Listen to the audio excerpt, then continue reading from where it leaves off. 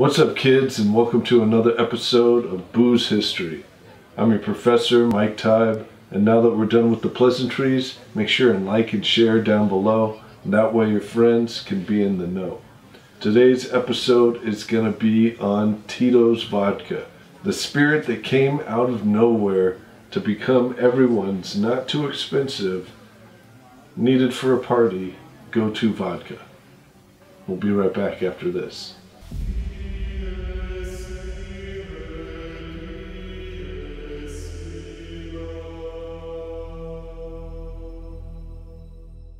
There is actually a Tito behind Tito's. His name is Bert Bertito Beveridge. That's right, his last name is actually Beveridge. He got the nickname of Bertito from his Latin caregivers as a child, and the name kind of just stuck. Tito was making vodka as a side hobby for his friends, completely illegal in all countries in the world except for one, don't try this at home.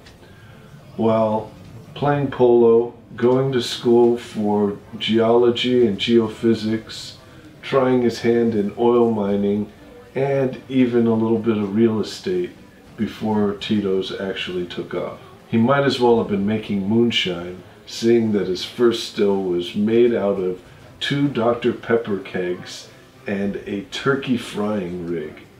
Now that he's got a multi-acre distillery, the claim of handmade on the label has been called into question in a couple of court battles. Along with the handmade being on the label, another misconception is pot still vodka, which is not physically possible seeing that a pot still can only get alcohol up to about 80%, whereas you need columns, like what he did with his two Dr. Pepper kegs originally, to get it up over 90% for it to become vodka.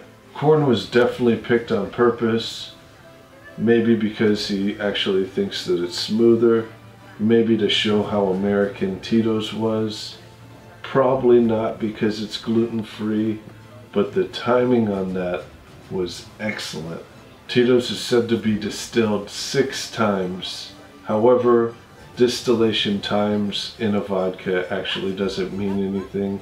It ends up going through a column and a lot of times what they do is just count the amount of windows or plates that are in the column and then say that it was distilled six times or 13 times or 20 times. What really matters is how it tastes to you and how it tastes to your pocketbook. Tito really, really, really, really loves dogs.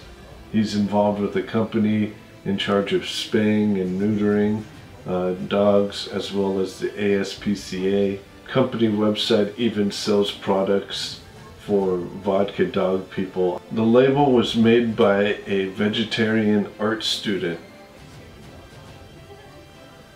I hope he liked corn.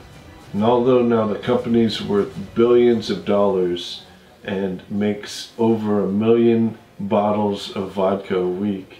It started in a huge amount of debt, something to the tune of $90,000. The two lawsuits that I talked about are in both California and Florida, and they pertain to the word handmade on the labeling of Tito's because it's neutral grain spirit in mass production that comes to the facility and then is turned into Tito's vodka through redistillation um, proofing, and bottling.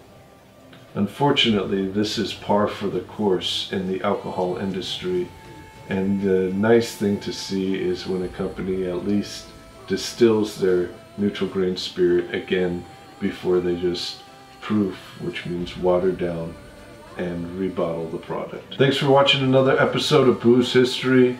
Check us out on the socials under Booze Networks like our Instagram so you can see what I'm making right now, whether it's a cocktail, some alcohol, or even just some dried fruit. Thanks again, and we'll see you next time. Over and out.